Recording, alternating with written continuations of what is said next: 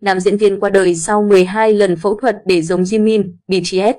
Nam diễn viên Sangwon Kolaksi, 22 tuổi, đã qua đời sau khi trải qua 12 cuộc phẫu thuật để có ngoại hình giống với Jimin, BTS. Ngày 23 tháng 4 vừa qua, nam diễn viên Sangwon Kolaksi đã qua đời ở tuổi 22 tại một bệnh viện thuộc Hàn Quốc do những biến chứng từ ca phẫu thuật. Gần đây nhất của anh, lần phẫu thuật cuối cùng của Sangwon Kolaksi là cái ghép hàm. Anh bị nhiễm trùng và phải đặt nội khí quản nhưng không may qua đời vài giờ sau đó.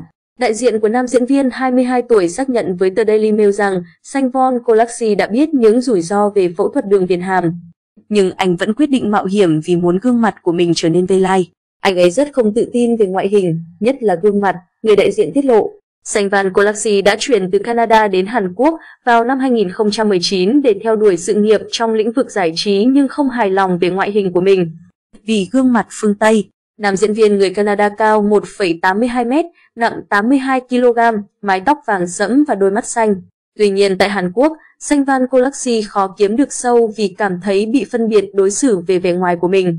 Trong 12 tháng qua, Sangwon Kolaksi đã chi 220.000 USD, hơn 5 tỷ đồng, cho 12 ca phẫu thuật, bao gồm căng da mặt, sửa mũi, nâng mắt, nâng lông mày và thu nhỏ môi, cùng nhiều ca phẫu thuật khác để giống với Jimin, thành viên nhóm nhạc nổi tiếng BTS của Hàn Quốc. Sangwon Galaxy đã quay một bộ phim truyền hình dài tập 8 tập của Hàn Quốc có tên là Pretty Lies vốn được gọi là Kojima, trong đó anh đóng vai Jimin.